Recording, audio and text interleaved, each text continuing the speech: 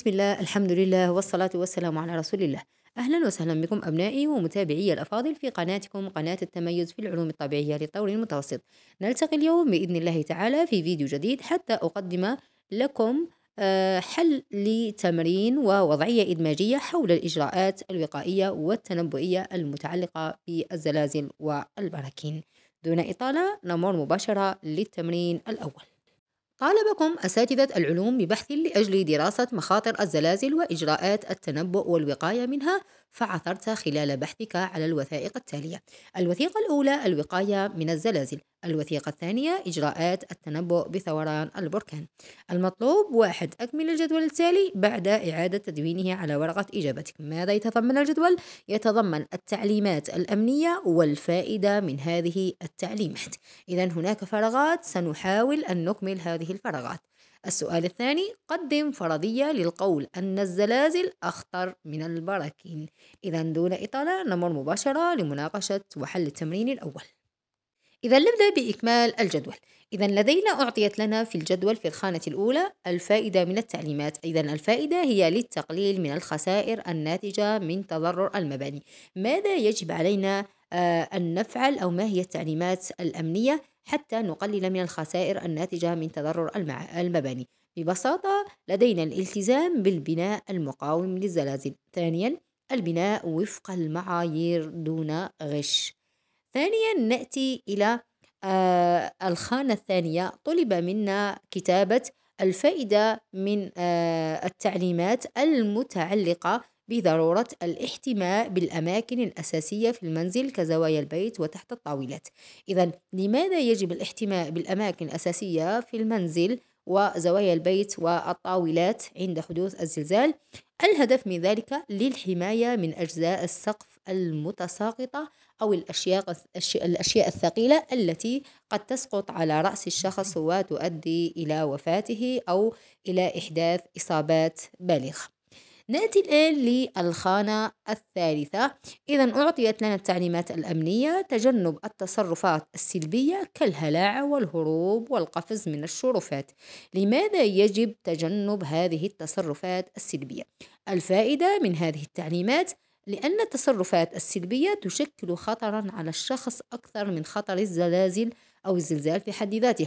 فلو قفز الإنسان من الشرفاء من الشرفات قد يموت مباشرة وربما آه، يكون في موقع فيه زلزال ولا يصيبه أي ضرر وأي خطر. نأتي الآن للفائدة للخانة الرابعة. إذا لدينا ضرورة مساعدة الضحايا وأعوان الحماية آه، المدنية. إذا ما هي التعليمات الأمنية؟ إذا التوعية وتعلم الإسعافات الأولية الأولية. إذا ضرورة التوعية تعليم توعية المواطنين وتعلم الإسعافات الأولية. الفائدة من هذه التعليمات الأمنية هي لمساعدة الضحايا وأعوان الحماية المدنية في حالة وقوع زلازل. نأتي الآن للسؤال الثاني لماذا تعتبر الزلازل أخطر من البراكين؟ الزلازل أخطر من البراكين لأن الزلازل سريعة وفجائية ولا يمكن التنبؤ بموعد حدوثها وتأثيرها يكون على نطاق واسع فتكون الخسائر كبيرة بينما البراكين يمكن التنبؤ بثورانها وتأثيرها على نطاق ضيق إذا يكون تأثيرها فقط في المناطق القريبة من البركان فنستطيع الوقاية منها والتقليل من خسائرها. أرجو من الله تعالى أن تكونوا قد فهمتم آه لماذا الزلازل أخطر من البراكين. نمر الآن للوضعية الإدماجية.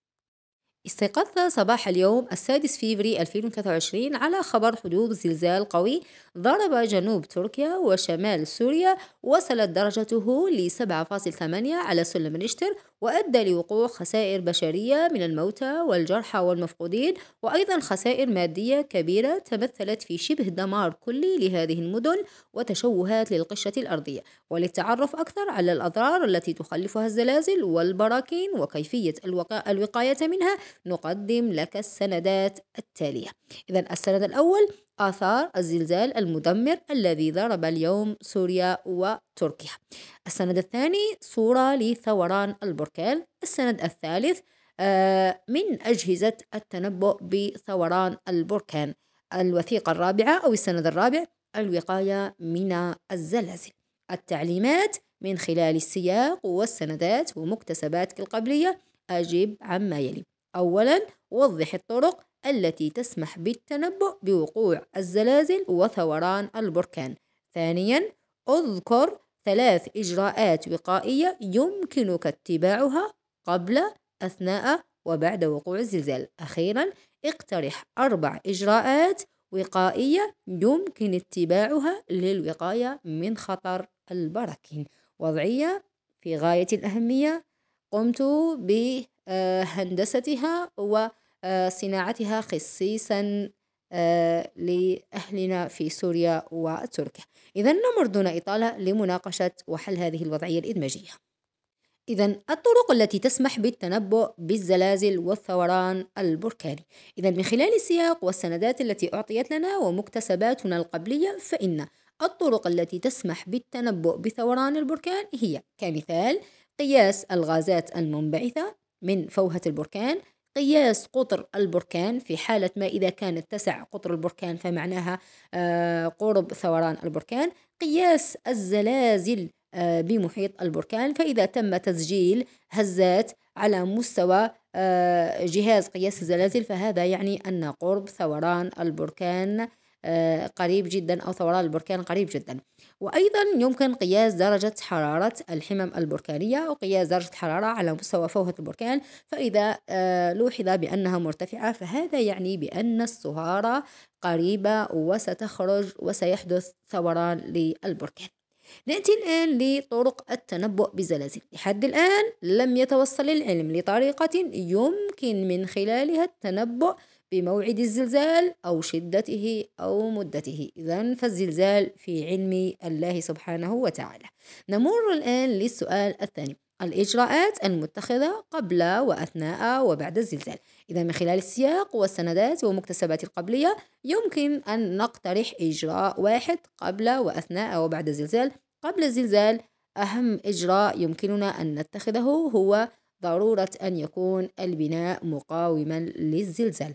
أثناء الزلزال. من أهم الإجراءات يجب الاختباء تحت أثاث آه، مقاوم أو في زاوية البيت لتجنب سقوط الأشياء على الرأس. بعد الزلزال الابتعاد عن المناطق الساحلية فقد يحدث تسونامي آه، آه، وبالتالي يزداد خطر الزلازل. يمكن أيضا أن نقترح تفقد حنفيات الماء والغاز والكهرباء لتجنب أخطار أخرى. نأتي الآن لآخر سؤال الإجراءات الوقائية الواجب اتخاذها للوقاية من البراكين. من خلال السياق والسندات ومكتسبات القبلية فإن الإجراءات هي أولا إنشاء مخابئ لإجلاء لإجلاء السكان. ثانيا إعلام المواطنين في حالة الثوران البركاني. ثالثا إجراء حملات توعية للسكان بأخطار البراكين وأخيرا يمكن آه، اللجوء إلى الأماكن المرتفعة أثناء ثوران البركان للوقاية من دخان وغازات آه، البراكين وصلنا لنهاية الفيديو. أرجو من الله تعالى أن تكونوا قد استفدتم من هذا التمرين ومن هذه الوضعية الإدماجية.